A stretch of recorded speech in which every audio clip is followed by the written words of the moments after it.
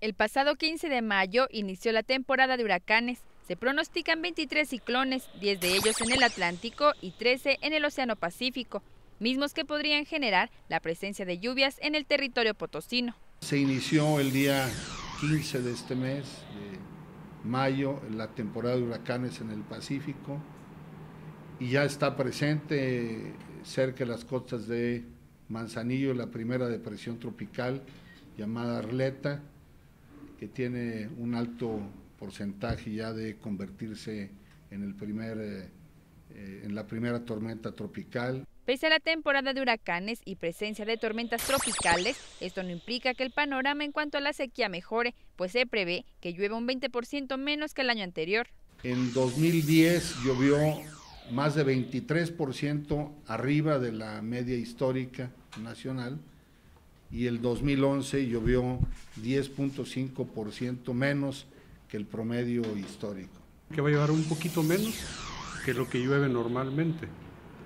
claro que va a llover, ahí, ahí es lo mismo que ha llovido en varios años, pero un 10 y un 15 y hasta un 20% menos en julio.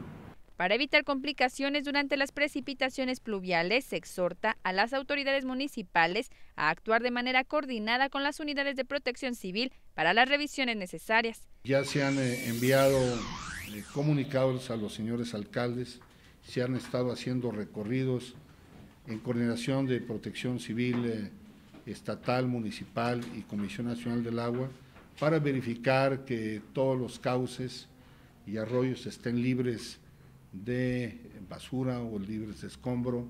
Las autoridades advierten que continuará el tandeo de agua. Asimismo, en los próximos días se cerrarán las compuertas de las presas, por lo que se reitera el llamado a preservar el líquido vital. En los próximos días entra en operación ya los cuatro pozos que se perforaron, que irán a sustituir el agua que se deje de recibir de las presas.